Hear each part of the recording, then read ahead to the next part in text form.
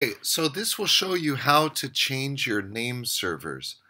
First, you need to get to the domains, okay, where it says my domains or whatever. Now, one thing is the user interface itself, it may look different than this.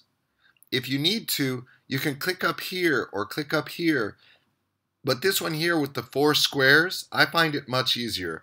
At any rate, now you click in the upper right hand corner and you come down to manage DNS. Again, we want to manage DNS. Click here. Okay, it says we can't display, da, da, da, just ignore that.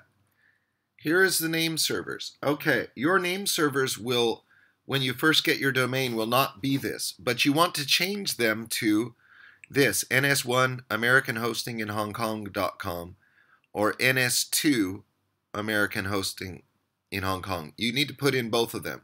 So you click change. Now you need to select custom.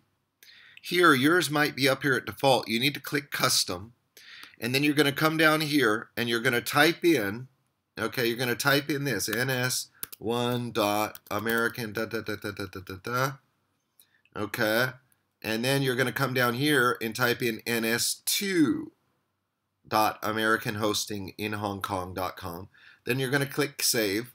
Now, one thing you need to note is that every once in a while, I will do it here at GoDaddy. I will put in my name servers, and for some reason they don't save. Maybe 25% of the time, or I don't know, one out of every four times. Kind of a weird glitch in their system.